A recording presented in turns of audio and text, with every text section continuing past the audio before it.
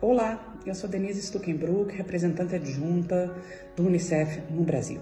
Em situações de emergência, como a situação atual das chuvas no Rio Grande do Sul, crianças, adolescentes e mulheres ficam ainda mais vulneráveis e expostos a todo tipo de violência. Por isso, o Unicef intensificou seus esforços, colaborando com o governo para proteger especialmente crianças e adolescentes desacompanhados e vulneráveis atualmente localizados nos vários abrigos uh, distribuídos pelo Estado. Um dos pontos em que a gente está trabalhando é no mapeamento, junto com o governo, sobre a situação de meninos e meninas abrigados, identificando quantos são, que idade têm e as necessidades que eles têm nas atuais circunstâncias. Nesses momentos, a gente sabe que as crianças precisam de um olhar especial. Por isso, nós do Unicef estamos disponibilizando kits recreativos para apoiar a criação de espaços seguros. Além disso, nós vamos distribuir também para os abrigos kits de saúde menstrual, de higiene, de cuidados de bebês, também nesse sentido de tentar mitigar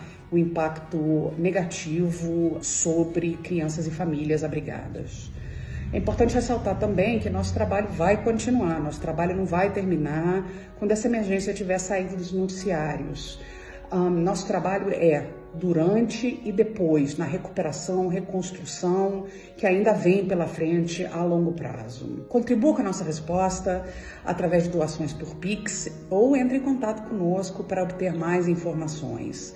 Juntos, tenho certeza de que podemos aliviar o sofrimento um, de crianças, adolescentes e das famílias nesse momento tão crítico para o nosso país. Muito obrigada.